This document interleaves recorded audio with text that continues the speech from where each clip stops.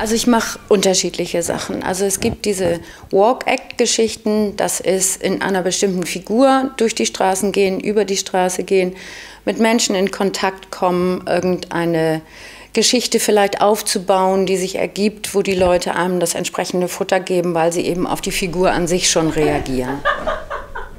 Also ein Garant für Aufmerksamkeit gibt es nicht, wobei ich aber eigentlich immer darauf achte, dass man nicht da in Pullover und Jeans irgendwie rumsteht, sondern die Kostüme eigentlich schon eher so sind, dass die Leute zumindest gucken. Und je aufwendiger oder je skurriler eine Geschichte ist, umso mehr gucken die Leute. Meistens bin ich ungeduldig und mache also den ersten Schritt, um denen auch ein bisschen die, die, den Boden zu ebnen, dass irgendwas passieren kann.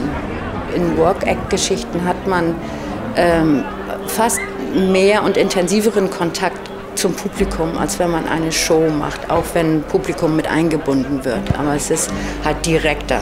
Es ist so face to face. In einigen Figuren ist es bisher auch so gewesen, dass man ernst genommen wird als eine etwas schräge Person, die ein Problem hat. Und dann wird einem geholfen. Und es kann auch sein, dass man als die Figur, in der man dann gerade unterwegs ist, auch tatsächlich nur im Kleinen mit zwei, drei Leuten nur mal spielt und sich dann aber eben durch die Menge bewegt und quasi als, ähm, als Blickfang eher auffällt. Wenn ich mich schämen würde, dann würde ich das nicht machen. Also das, das passt nicht zusammen, das geht nicht. Man muss schon ein bisschen bereit sein, sich zum Kasper zu machen. Ja.